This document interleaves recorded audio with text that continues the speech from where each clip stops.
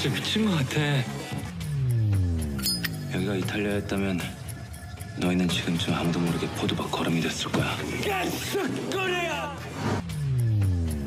여기 난 반드시 이 건물을 되찾을 거고 너희는 지금쯤 아무도 모르게 포도밭 걸음이 됐을 거야.